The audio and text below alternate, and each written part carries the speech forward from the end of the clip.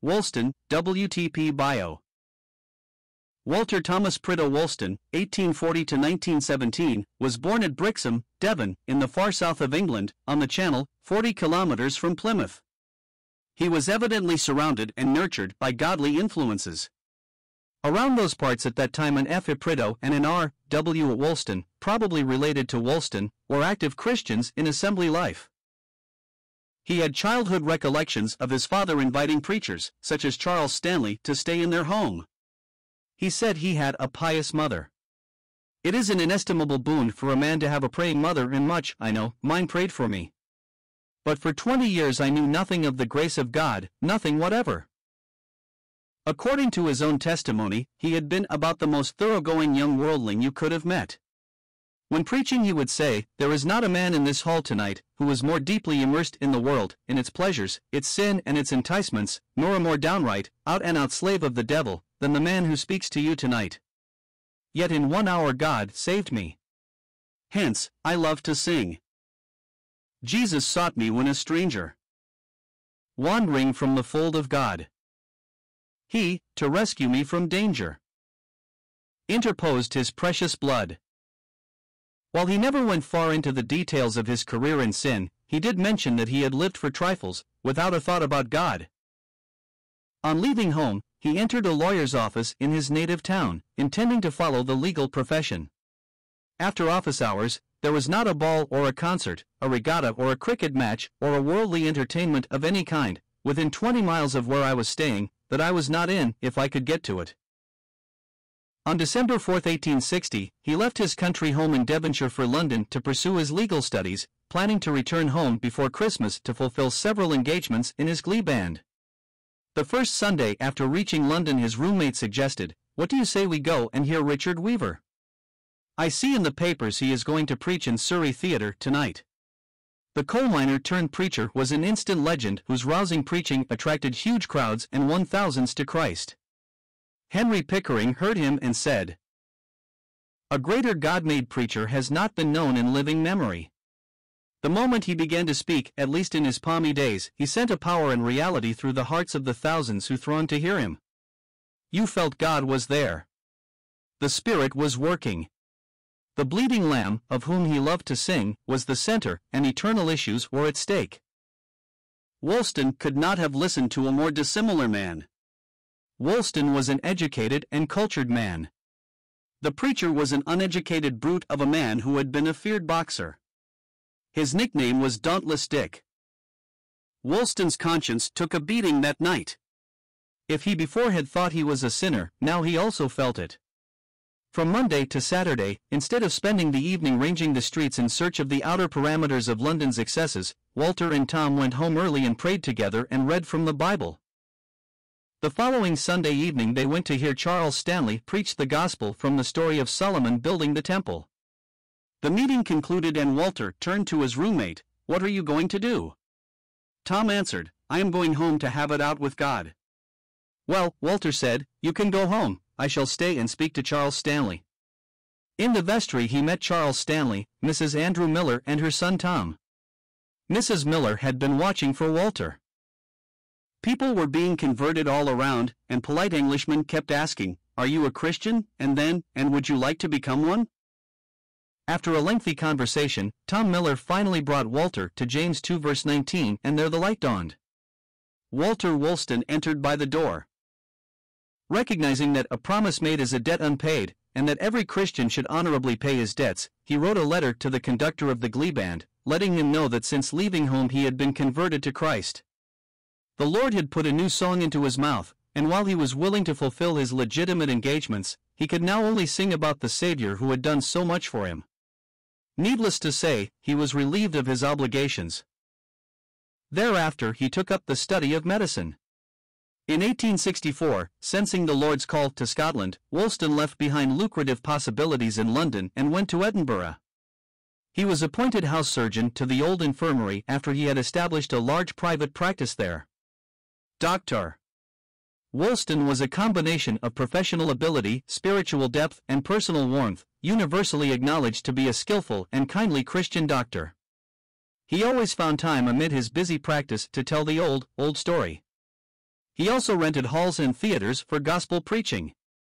Few professional men in Scotland were privileged to present the gospel to so many. He had a drawing influence with young men, and frequently lectured Edinburgh University students on spiritual subjects. In 1872 he began to edit God's Glad Tidings.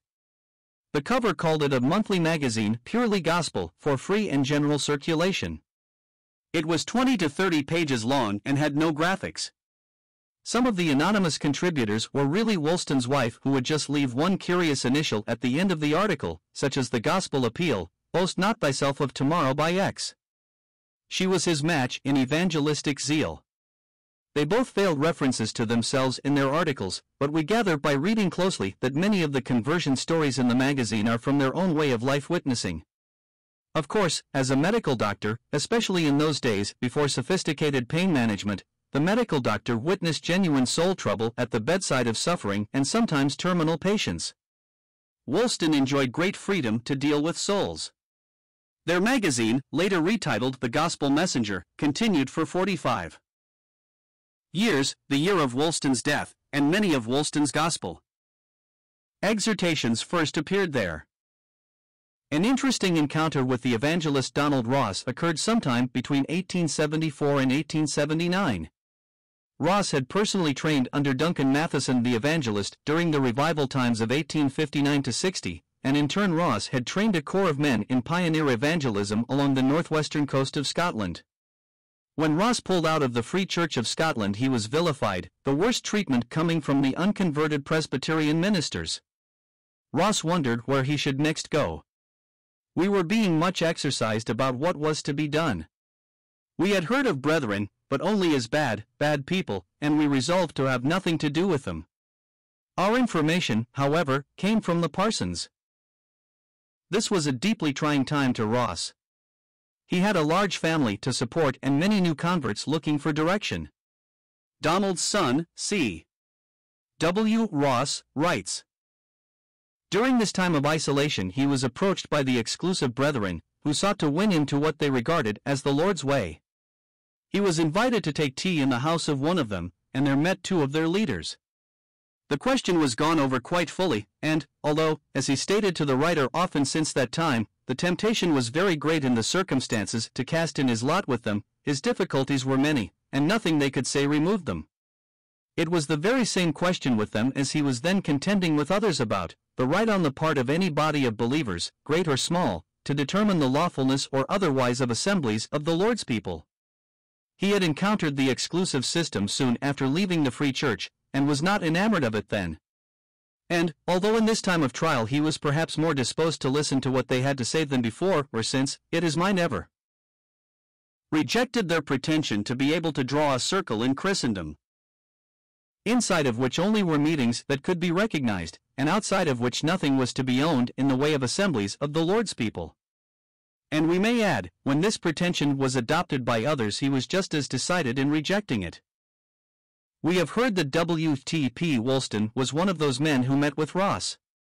Interestingly, between the years 1902 and 1908, Wolston himself would find the shoe on the other foot when the influences of F. E. Raven would send packing many evangelically minded men.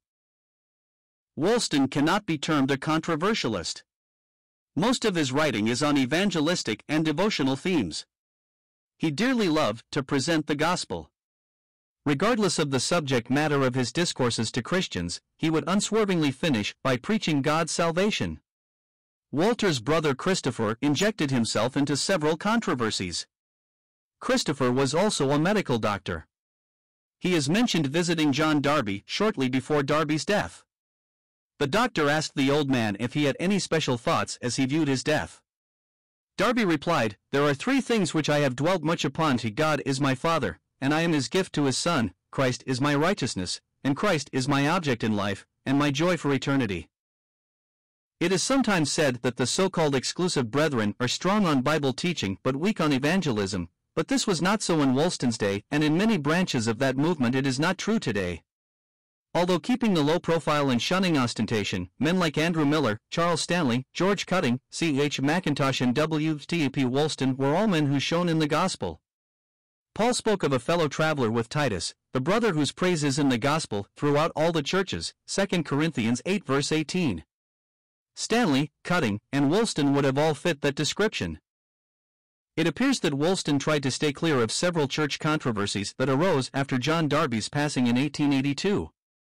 In the fall of 1896, he stood by a grave in Cheltenham Cemetery and read Genesis 25 verses 8 to 10 and Hebrews 8 verse 10. The body being lowered into the ground belonged to Charles Henry Mackintosh. He must have wondered, as the true men of spiritual stature among them either died or were being pushed out.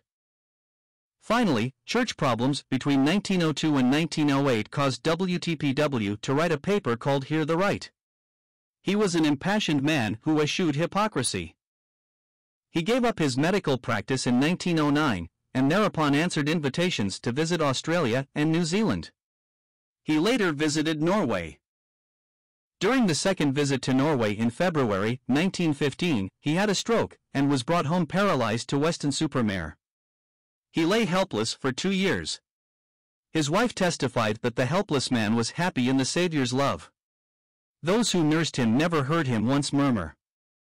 A few weeks before the end, he had another stroke and passed into a coma. On March 1917, at the age of 76, the good doctor made his appointment with the great physician, who forgives all our iniquities and heals all our diseases. Years previously, Wolston had declared, I truly confess, beloved friends, that the day when I say goodbye to the earth, I shall say, from the bottom of my heart, thank God. If the Lord came tonight, we should break out, as we left the earth behind, into that noble paean, O death, where is thy sting? O grave, where is thy victory? The sting of death is sin, and the strength of sin is the law. But thanks be to God, which giveth us the victory through our Lord Jesus Christ, 1 Corinthians 15 verses 55 to 57, I would not be anything but a Christian for 10,000 worlds, and if you are not one, it is high time you became one. Books by Wolston. Another Comforter, 13 lectures on the operations of the Holy Spirit. Backsliding and Restoration. Behold the Bridegroom, 10 lectures on the second coming and kingdom of the Lord Jesus. From Egypt to Canaan. Handfuls of purpose, let fall for eager gleaners. Night Scenes of Scripture, 17 Bible Night Scenes. 40 Days of Scripture. Rest for the Weary, the Gospel from the Book of Ruth. Seekers for Light, 14 Addresses to Edinburgh Students. Simon Peter, His Life and Letters. The Call of the Bride, and other Gospel papers. The Church, What is it? 10 Lectures on the Church of the New Testament. Young Men of Scripture, 9 Addresses to Young Men.